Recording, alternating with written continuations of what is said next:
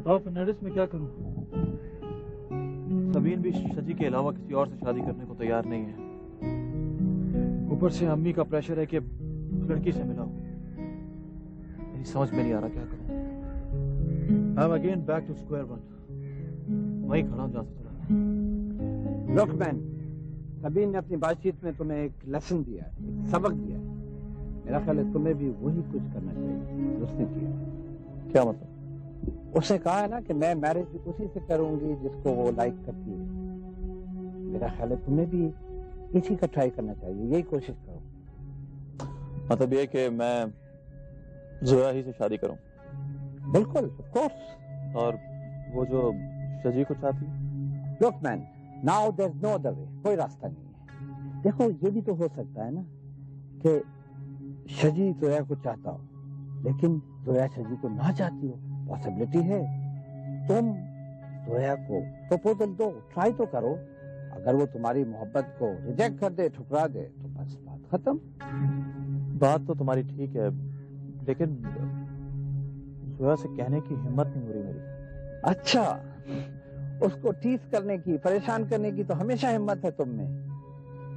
और उससे पूछने की हिम्मत नहीं हो रही। मेरा तो ख्याल है वो तुम्हारे प्रपोजल पर गौर करेगी और पॉसिबिलिटी है कि मान लेगी। यस कहाँ कहाँ कहूँ? ऑफ़िस में और कहा? अगर मैं ऐसा नहीं हो सकता कि मेरी जगह तुम बात करो उससे। No no no no no man ये मसला 100 परसेंट इमोशंस का है। जो जज्बात जो फीलिंग्स तुम उसको खुद समझा सकते हो मैं तुम्हारी तरफ़ से उसको नहीं समझा सकता. अगर मैं अम्मी को उनके घर भेजूं तो नहीं क्या बात करते हो? मैन अभी नहीं जब तुमको 100 परसेंट यकीन हो जाए कि जोया तैयार है तब भेजना नॉट नाउ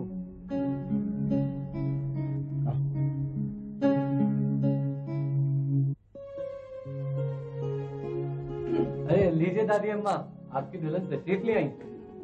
आइए आइए। अरे जी अल्लाह तुम्हें पोते पोतियों की खुशियाँ देखना नसीब करे। एक बेटे के लड्डू तो इन्होंने खिलाए नहीं अभी तक। आप पोते पोतियों की बात कर रही हैं? अरे अब तू ब्रश रख दे हाँ जुलन क्या बात हुई तुम्हारी शजी से? हाँ अम्मी जान।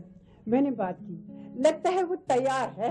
दादी जान मिठाई लेके आऊँ तू चुप रह। हाँ जुलन क्या बात हुई तुम्हारी शजी से? अम्मी जान हम तो पहले ही चाहते थे कि शजी और जोया की जोड़ी बहुत अच्छी रहेगी पहले जब मैं पूछती थी ना तो वो इनकार कर देता था। कल रात जब मैंने बात की ना तो उसके लहजे में खुशी थी। मुझे कहने लगा कि मैं अम्मी जान दो तीन दिन में बता दूँगा। पहले की तरह उसने इनकार नहीं किया। भाई आखिर ये दो तीन दिन क्यों? अरे आजकल की जो नस्ल है ना ये सीधी तरह नाक नहीं पकड़ती यूँ घुमा के नाक पकड़ती है। अगर वो पहले ही अपनी तरफ़ से हाँ कह देता तो उसकी अहमत कैसे ज़ाहिर होती? दो तीन बार कहोगी तब मानेगा। अम्मा इसका मतलब है तैयार है। वो तो तैयार है अब तुम भी तैयारियाँ शुरू कर दो। जी अच्छा। दादू जानी आप ही के बाद मैं सीनियर मोस्ट हो गया हूँ। अब आप जहाँ चाहें जिससे चाहें मेरी शादी करा दें। प्लीज़ दादू जानी प्लीज़ अस्सलाम वालेकुम अरे वाह आज तो सब साथ बैठे हुए हैं। क्या बात है? रौनक लगी हुई है। जरा जरा बेटा मेरे पास बैठो अब मेरी बात सुनो। अब तुम दफ्तर जाना छोड़ घर में बैठो। सारा रंग काला हो जाएगा। अरे भाई हमारे जमाने में तो लड़कियों को डेढ़ महीने पहले से माइयों बिठा देते थे। और आप भी बस अब मिठाइयों का एहतमाम किया जाए चमचम गुलाब जामुन बेसन के लड्डू गाजर का हलवा अंकल आप क्या पसंद करेंगे हम मोतीचूर के लड्डू में अम्मी और अम्मी जान आप हुक्म कीजिए आपके लिए क्या लेके आऊँ डंडे तेरे लिए हाँ हाँ कान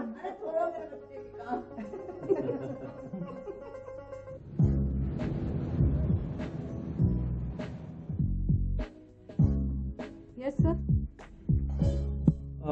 जोया बैठिए प्लीज़ नहीं सर मैं ठीक हूँ। जोया मुझे अ, बहुत ज़रूरी बात करनी है आपसे। प्लीज़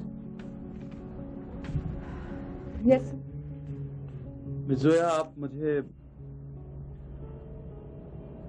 सर ना बोला करें।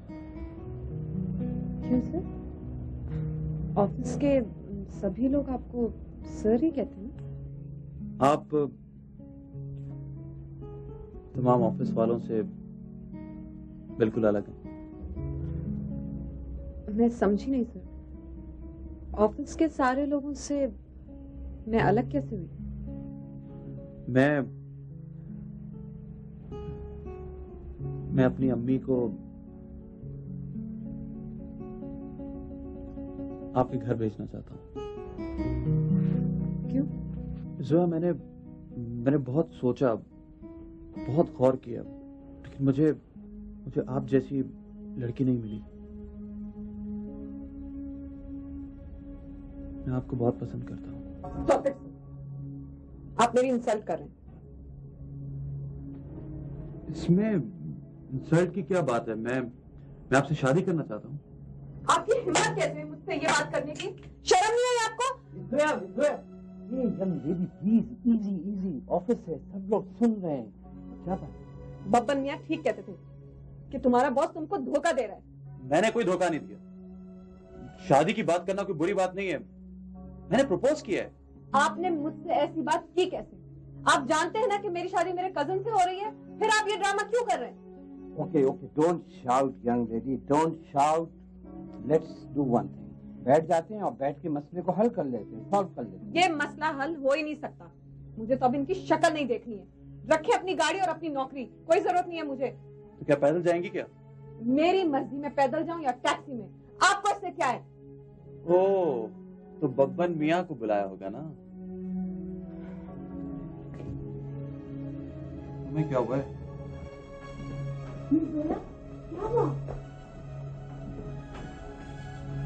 ये ये Zoya I know he was very clumsy. हमारे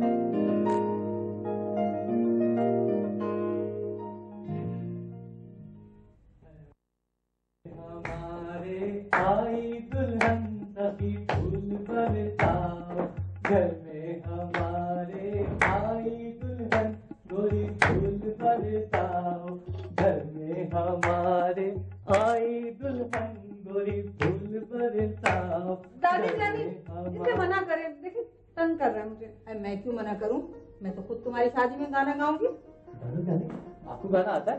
अरे गाना? गाने। अरे मुझसे तो तुम जो कहो जो सा गीत कहो गा दी। जब हमारे जमाने में ना शादी होती थी तो लड़कियाँ मुझे ही घेर लेती थी गाना गाने के लिए। दादी जानी आप गाना सुना मैं बजाता हूँ। अरे रहने दो तू बजाने के लिए मैं खुद बजाऊँगी देख अभी बजा अब एक शर्त है उठ नाच कर चलो उठो उठो। मजनू का तमाशा लाया रे बनी अरे ओ लाडले। अरे ओ लाडले मैया प्यारे बने। अरे ओ लाडले बना प्यारे बने बना प्यारे बने। मजनू का तमाशा लाया रे बनी। अरे ओ लाडले और अच्छे सुनाती। जी आई। अरे तुम कहाँ जा रही हो?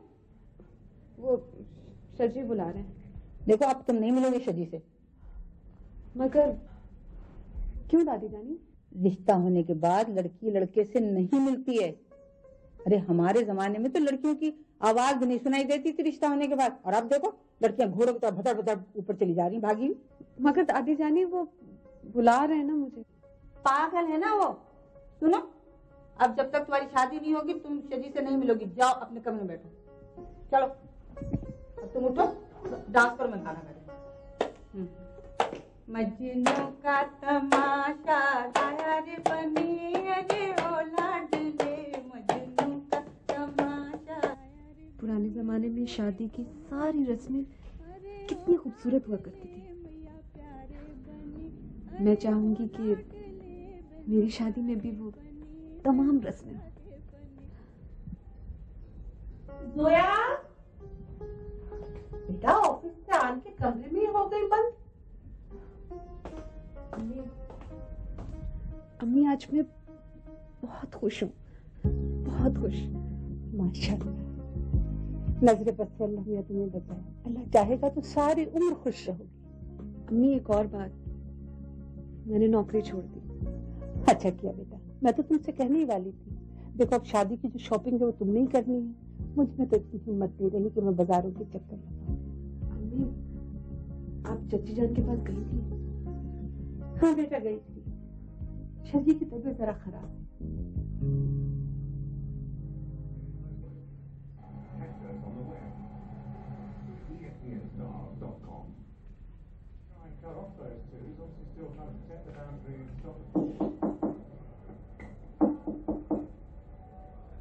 आइए आइए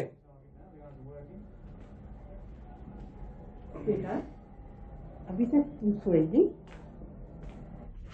नींद दिन भर सोता रहता हूँ ऑफ़िस जा नहीं रहा हूँ।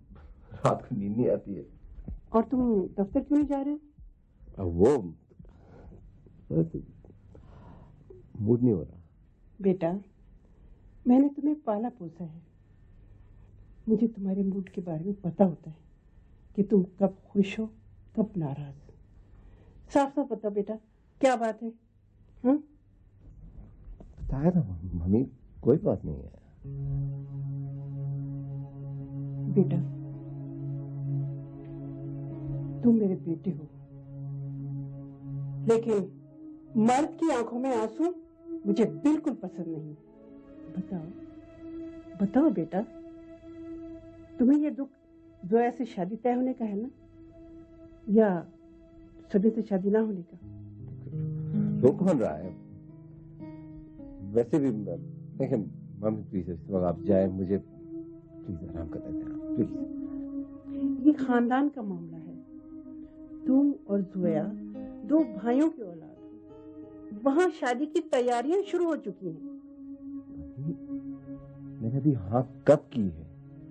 लेकिन तुमने ना भी तो नहीं किया था। जी सिर्फ़ इसीलिए मैं जोया से मिलना चाह रहा हूँ। पता नहीं आप लोगों ने क्यों उस पर पाबंदी लगा दी है? पर्दा करवा दिया उसे। जोया क्या कर सकती है? मम्मी जोया ही सब कुछ कर सकती है। वो हमेशा मेरे काम आती है। मैं चाहता हूँ वो खुद इनकार करे। मैं कल जाऊँगा उसके दफ्तर। उससे बात करूँगा। कल वो दफ्तर नहीं जाएगी। उसने नौकरी छोड़ दी है। जोया ने जोया ने नौकरी छोड़ दी? ठीक है मैं उससे घर ही में बात कर लूँगा। अकल के नाखून लो शजी अकल के। तुम क्या समझते हो? जोया जैसी लड़की को रिश्तों की कमी है? तुम में जैसे सुखाब के पड़ लगे हुए हैं जो जोया को तुम पसंद नहीं करते। नहीं मम्मी जोया बहुत अच्छी लड़की है। जितना मैं और आप समझते हैं उससे कहीं ज़्यादा अच्छी है। लेकिन लेकिन मैं क्या करूँ कि लेकिन मैं क्या करूँ? मेरे दिलो दिमाग पर तो सबीन का कब्जा है। देखो शजी तुम्हारे कहने पर हम सबीन के घर गए लेकिन वो गलत लोग निकले। अगर तुम्हें कोई और लड़की पसंद है ना तो बताओ हम वहाँ पर भी जाने के लिए तैयार हैं। वैसे हमारे ख्याल में जोया से बेहतर और रिश्ता नहीं है।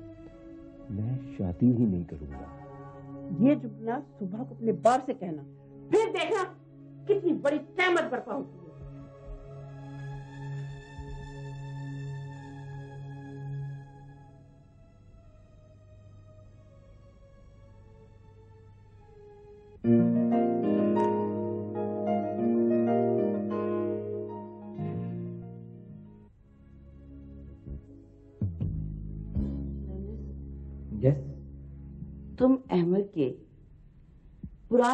गहरे दोस्त हो ना?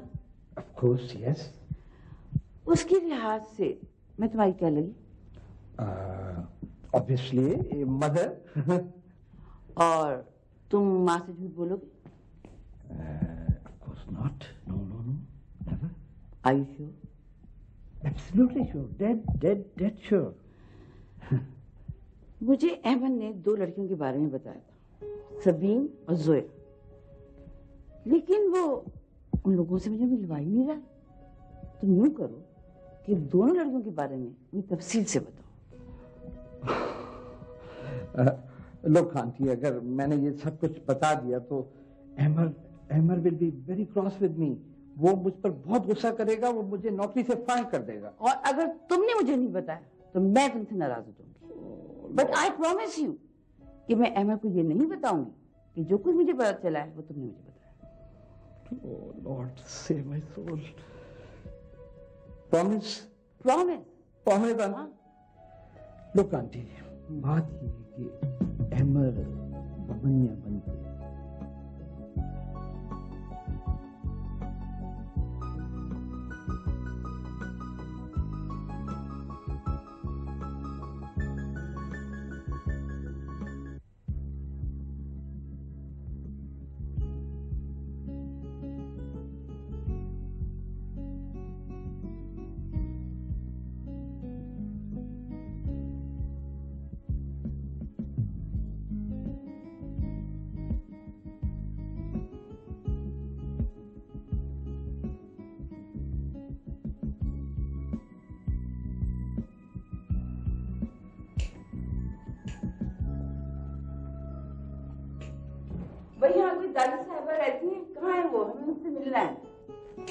किस दादी की बात कर रही हैं? दादी? दादी मैं हूँ। क्या बात है? हैं? दादी तुम हो? तो बहन हमें मज़ाक पसंद नहीं। है? तुम दादी कैसे हो सकती हो? तुम तो हमारी उम्र की हो। आइए आइए बैठिए। रुकिए कुर्सी देना। यहाँ बैठे। माशाल्लाह आप तो बड़ी अक्लमंद खातून लगती हैं। हमने सुना है कि यहाँ दादी की तबीयत की वजह से लोग बहुत खुश इखलाक और सलीकेमंद हैं। भी तो मिलाइए ना उनसे। क्या करूँ बहन आपको तो यकीन ही नहीं आ रहा। असल में मेरी बहुत छोटी उम्र में शादी हो गई थी। फिर माशाल्लाह बच्चे भी जल्दी जल्दी हो गए। और फिर उनके भी बच्चे जल्दी हो गए तो ज़ाहिर है मजबूरन दादी तो बनना पड़ा। अरे छोड़िए ना ये आप जनाब ये गैर ज़रूरी बातें हम उम्र में अच्छी नहीं लगती। हम्म, अब आप कहती है दादी तो हम लेते हैं कि आप दादी अच्छा ये बताओ पान खाओगी? हाय हाय क्या याद दिला दिया पान। जब से तुम्हारे दूल्हा भाई का इंतकाल हुआ है पान खाने का तो मज़ा ही खत्म मेरे दूल्हा भाई अरे तुम मेरी बहन हो ना हाँ। तो हमारे जो मियाँ हैं वो तुम्हारे दूल्हा भाई लगे ना। अरे हाँ। ठीक कह रही हो। हाय क्या भात भर भर के पान लाते थे। एक हाथ में देसी पान एक हाथ में सांची पान। अरे बहन तुम तो बिल्कुल अपनी सी लग रही हो। अपना तारुफ तो करवाओ। हैं? अरे बब्बन ने हमारे बारे में कुछ नहीं बताया। अरे हम बब्बन की खाला हैं। हाँ? खाला बब्बन की खाला ए दुल्हन ए दुल्हन तेरा बात तो सुनना जी अम्मा। बेटा ये बब्बन की खाला है? अच्छा। जोया ओ बेटी इधर तो बेटा इनसे ये बब्बन की खाला है? इसको तो देखकर जन्नत की हुरें भी शर्मा जाए। माशाल्लाह बहुत हसीन बच्ची। जोया इधर चाय तो बना लो। थोड़ी देर के लिए तो रहने देना मेरे पास। मैं अभी चाय बना के आती हूँ। आप बैठे।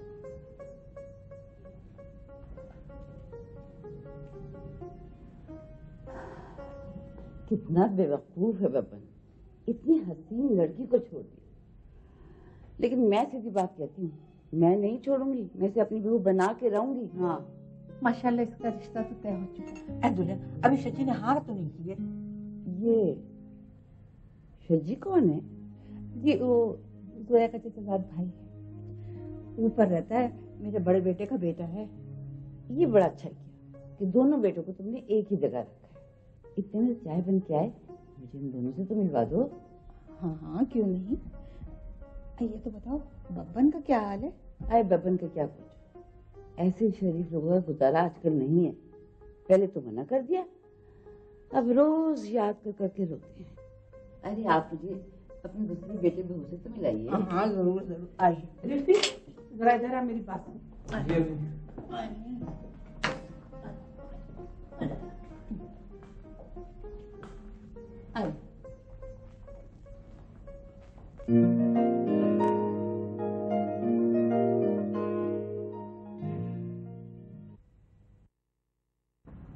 खातिन हजरात मैं बोर्ड ऑफ़ डायरेक्टर की इस मीटिंग में आप सबको खुश आमदीद कहता हूँ। साथियों, दुनिया कभी भी इंसान दोस्तों से खाली नहीं रही। मिस सबीन और उनकी वालदा ने अपनी तमाम जायदाद बेचकर जो ट्रस्ट कायम किया है, ये सवाब जारिया है। मैं उम्मीद करता हूँ कि इस काम की वजह से इनका नाम अल्लाह के नेक बंदों में शामिल रहेगा। हम सबकी ख्वाहिश तो यही थी कि मिस सबीन या मिसिस सिकंदर इस ट्रस्ट की सरबराह बनना कबूल करती वो दरअसल सबीन से मैंने बहुत इसरार किया था कि वो आए लेकिन वो कुछ पब्लिसिटी नहीं चाहती। ये दोनों खवातीन अपनी जाती वजूहत की बिना पर मुल्क से बाहर जा रही हैं। इसलिए मैं जाती तौर पर मिसिस सिकंदर से ये रिक्वेस्ट करूँगा कि वो कोई मुनासिब नाम इस ट्रस्ट की सरबराही के लिए तजवीज़ करें। जहाँ तक सरबराह का ताल्लुक है वो नाम मैं आप लोगों तक जल्दी पहुँचा दूँगी। मिस सबीन और मिसिस सिकंदर ने अपने महल नुमा मकान को दारुल अमान बनाकर जिस तरह बेसहारा औरतों और बच्चों की ज़िंदगी में एहसास महरूमी का खात्मा किया है, मेरी दुआ है कि अल्लाह ताला हमारे मुल्क के साहिब हैसियत लोगों को ये तौफीक अता फरमाए कि वो भी बढ़ चढ़कर इस काम में हिस्सा लें।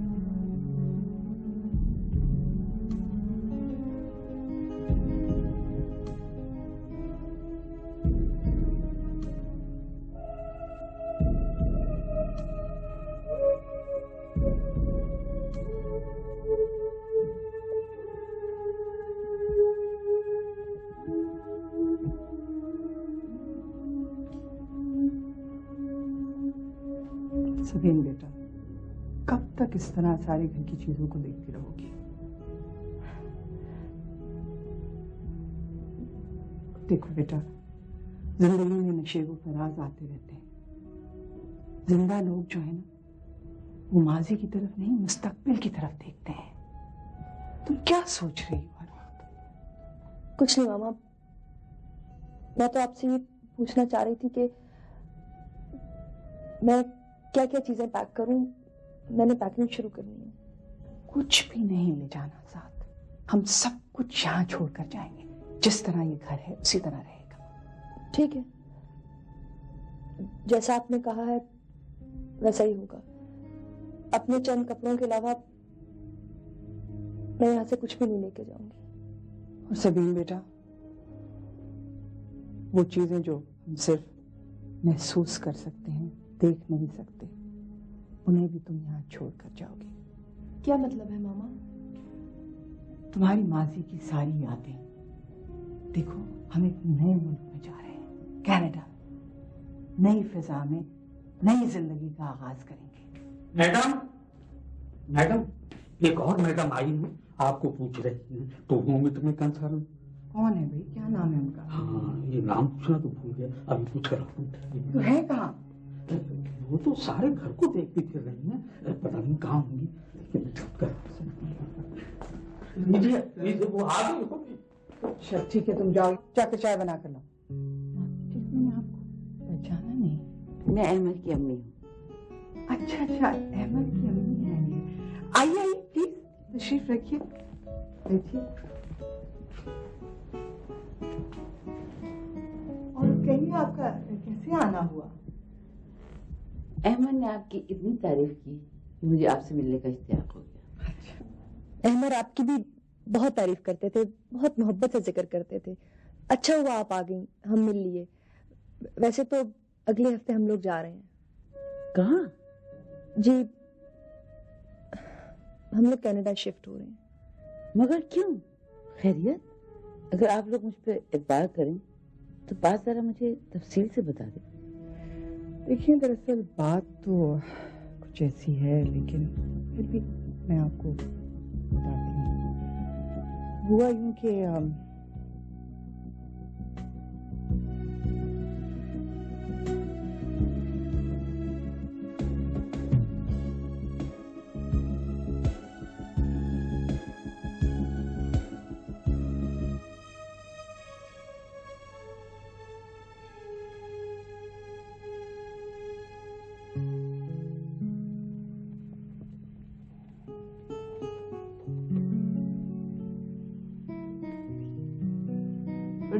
से मिलाइए मुझे just hold on please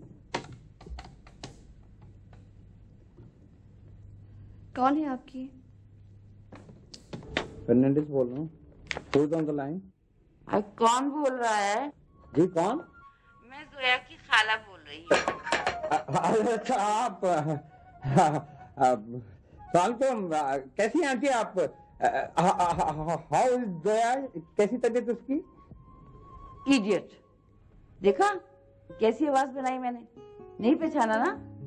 oh my god good lord mummy ये आपने कमाल कर दिया। आप I really could make it आप कितनी अच्छी आवाज़ बदलती हैं। I think it's family talent नहीं नहीं नहीं मेरा मतलब है वो कुछ नहीं कुछ और कह रहा था यार।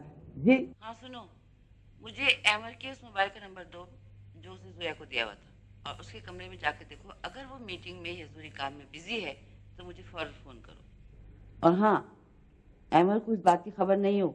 ओ mummy no no mummy for god sake ज़ाहिर है इट्स ऑब्वियस उसको मैं कैसे बता सकता हूँ? वो तो मेरी जान निकाल देगा। Yes he is free at the moment कुछ नहीं कर रहा है। अकेला है। नंबर ओके हाँ नंबर नंबर लिखिए आप। ज़ीरो थ्री मुझे कोड याद है तुम आगे का नंबर लिखवाओ। हाँ। हाँ। ठीक है। हम्म।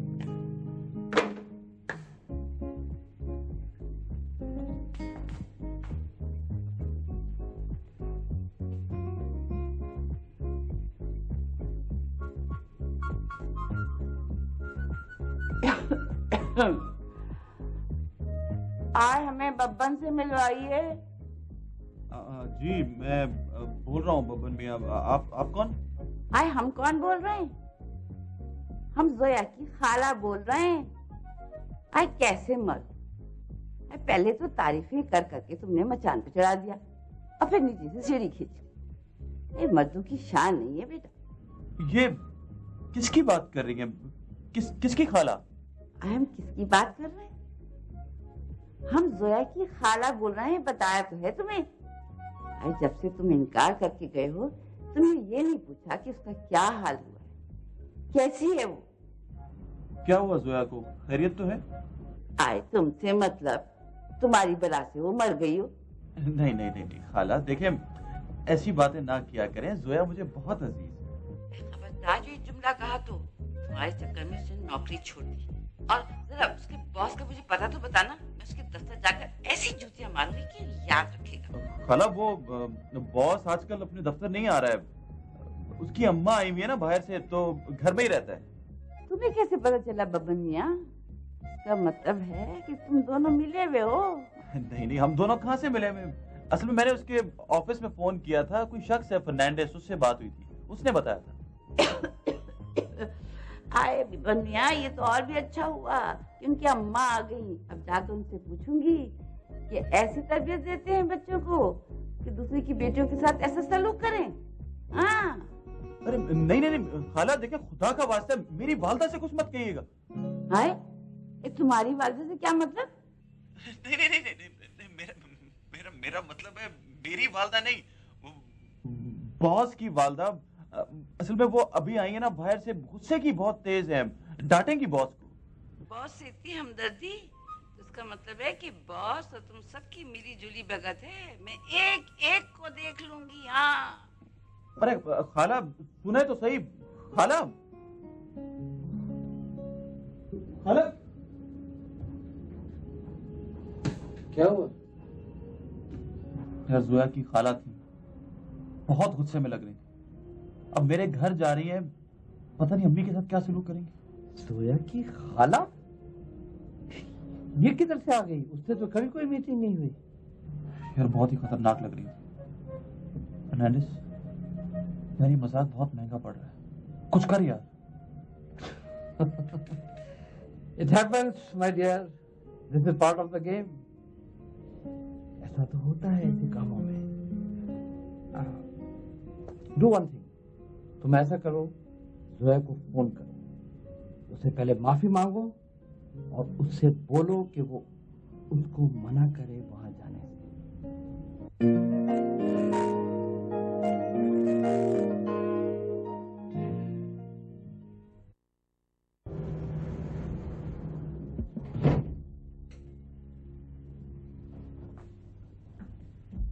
तो आप हैं चलिए।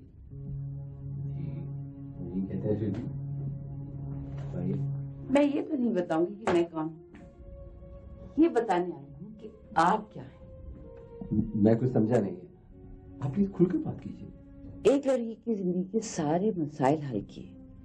उसको चाहा उसको शादी का पैगाम भी भेजा। और फिर ऐसे गायब हुए जैसे गधे के सजे सींग। मैं ऐसे अल्फाज इस्तेमाल करने की माफ़ी चाहती हूँ लेकिन मजबूर हूँ। आप एक बुज़ुर्ग हैं आप जो चाहे कह सकती हैं। मेरे ख्याल में अगर मैं गलत नहीं हूँ तो आप सबीन की बात कर रही हैं। प्लीज़ आप खुलकर बात कीजिए। और अपना प्लीज़ तारुफ तो कराइए आप हैं कौन? मैं कौन हूँ? इससे फ़र्क नहीं पड़ता। लेकिन जो कुछ कह रहे हो उसका जवाब दीजिए। देखिए खातून कोई भी शख्स खास तौर से मेरी जैसी तबीयत का मालिक ना अपने बुज़ुर्गों की तोहिन बर्दाश्त कर सकता है और न किसी के आगे देख सकता है। क्या किया था सबीना उसकी वालदा ने? उन्हें अपनी दौलत पे बड़ा नाज है। हमें खरीदना चाहती थी। हमें अपना गुलाम बनाना चाहती थी। गलत है ये सब कुछ। सबीना उसकी वालदा ऐसे नहीं है।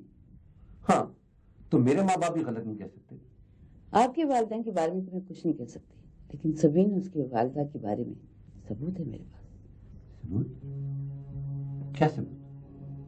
ये फ़ाइल पड़ी उन लोगों ने अपनी तमाम दौलत का एक ट्रस्ट कायम किया है, जिसमें गरीबों, अनादार लोगों की मदद हो सके। अपने घर को दारुल अमान बनाया ताकि लावाज औरतें और बच्चे रह सके। और पता है, इस तमाम ट्रस्ट का चेयरमैन किसको बनाया आपको।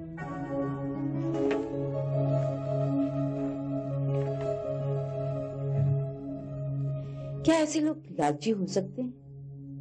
क्या ऐसे लोग तुम्हें अपना घर दमाद बना सकते हैं?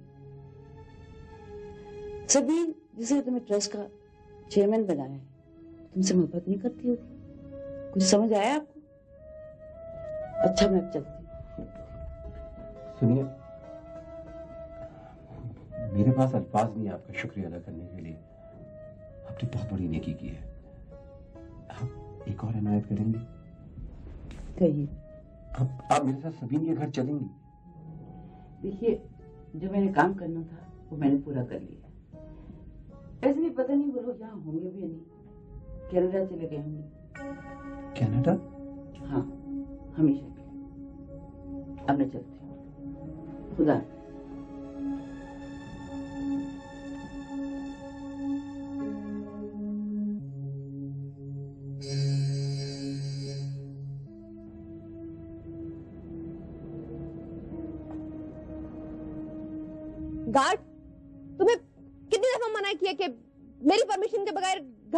नहीं आने दिया करो। क्या देख रहे हो? इन्हें धक्के देके घर से बाहर निकाल दो। ये इस काबिल नहीं है कि इस घर में आ सके।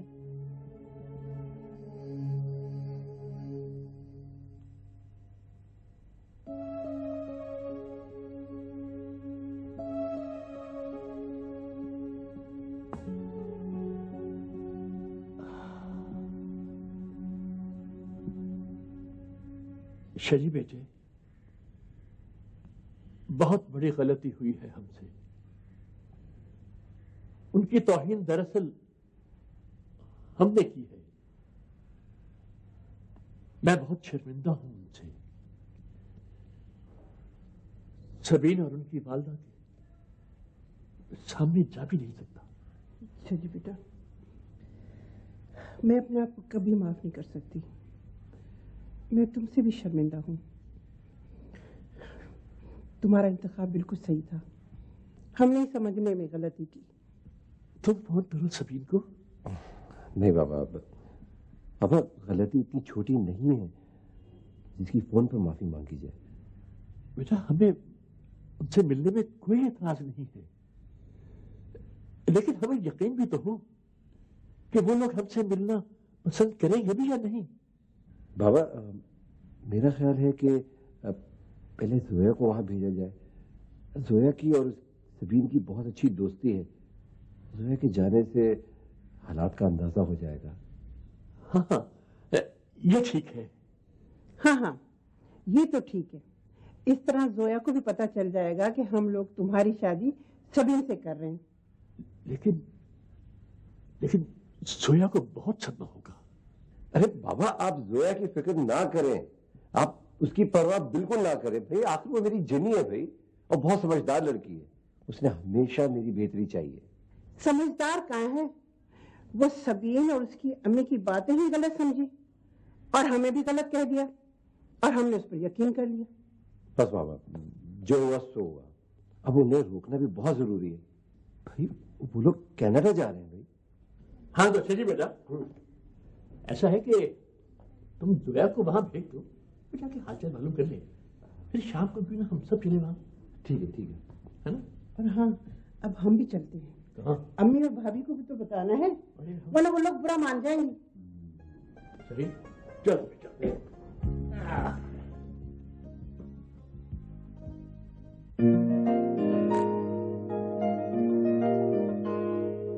हमें हमारा कोई कसूर नहीं है ना मियानी हम तो खुद चाहते थे। अच्छा कि जोया और शजी की शादी हो जाए।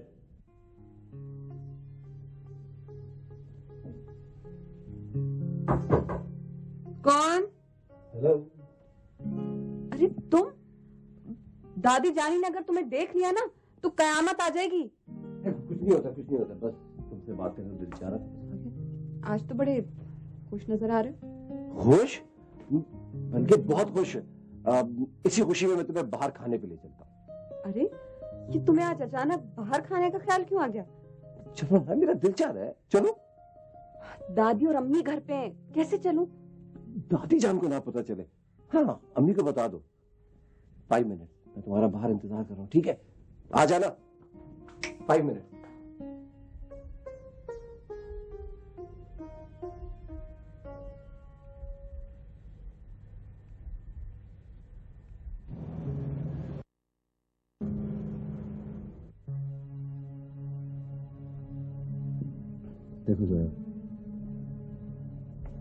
जोया तुम खानदान में वही शख्स हो जो मुझे खुश देखना चाहती हो। अब एकदम बहुत अहम तब्दीली आ गई है। बहुत बड़ी गलत फहमी हो गई थी। अब इससे पहले कि सबीन चली जाए, हालात अब सही हो जाने चाहिए। तुम खुद ही सोचो कि हम दोनों की शादी तय होने के बाद हम दोनों ने उसे एकदम इग्नोर कर दिया। उसने क्या महसूस किया होगा? तो कितना दुख हुआ होगा। शादी की तमाम तैयारियाँ हो जाने के बाद एकदम से बात खत्म हो जाए तो एहसास तो होता है ना। मुझे मालूम है कि हम दोनों की शादी तय हो गई थी। तुम तो अपने हो। घर का मामला है। एक दो दिन सब नाराज़ होंगे फिर सब ठीक हो जाएगा। मगर सबीन का केस तो बिल्कुल मुख्तलिफ़ है ना। वो पहले ही बहुत दुखी है। मैं उसे मजीद दुखी नहीं करना चाहता। मुझसे क्या चाहते हो तुम? सो मैं चाहता हूँ कि तुम उसके घर जाओ। उसको बताओ कि हम लोगों से गलती हो गई है। हम उससे माफ़ी मांगना चाहते हैं। तो फिर मेरे जाने की क्या ज़रूरत आप लोग सब जाए। नहीं बार मम्मी बाबा को मायूसी हो चुकी है। वो भी गलत फहमी की बिना पर हुई थी। मैं चाहता हूँ कि तुम जाओ। तुम जाओगी तो ये मालूम हो जाएगा कि वो लोग कितने नाराज़ हैं। जाओगी ना। देखो जोया, तुम मेरी जिनी हो ना।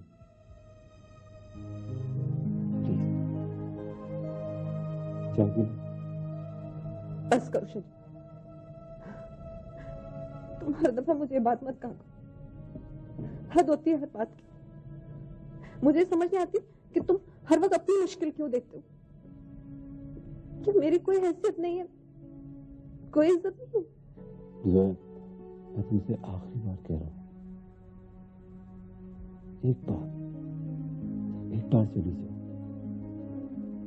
मैं आईना तुमसे कभी भी नहीं कहूँगा। जाओगी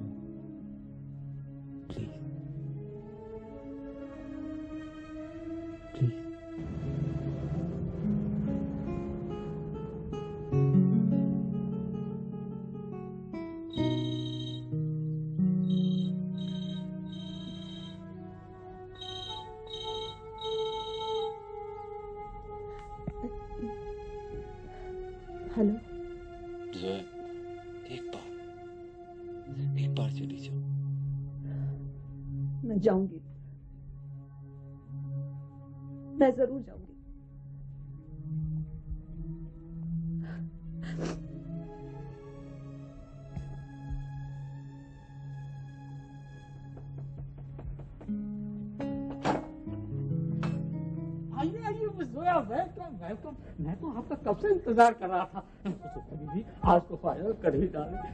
देखिए ना, घर के सब लोग जा रहे हैं। मैं अकेला हूँगा। आप होंगी तो साथ में अच्छा गुजारा हो जाएगा। आप शर्मा रही हैं? आप शर्माए ना। मुझे बताएँ, अगर किसी ने कुछ कहा है तो मैं उसके पैर तोड़ के उसके हाथ में दे दूँगा। आज ज़रूर फाइनल कर लीजिए। ठीक है।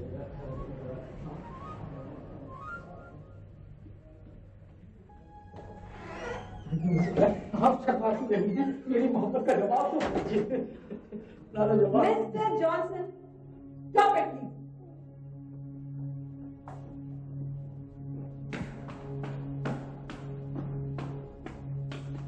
अरे जोया तुम कैसे आना हुआ सबीन कहाँ है.